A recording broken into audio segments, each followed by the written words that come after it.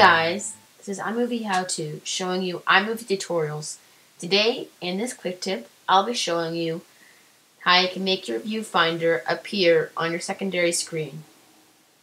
So first, if you have a secondary screen, you can go to Window, and this option will appear where it says Viewer and Other Display. What this does is it puts this project viewfinder on your second display.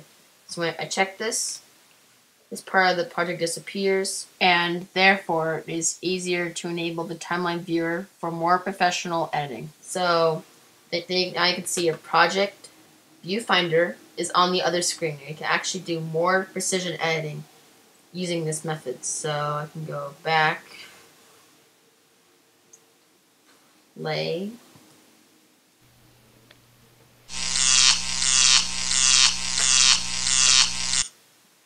So that's basically it of putting your project viewfinder in a second display. Thank you for watching this iMovie tutorial. To see some more videos, click on the video above. Subscribe to me so you can see future iMovie videos. If you have any questions or have an iMovie tutorial request, put it in the comments below. Thank you for watching this video.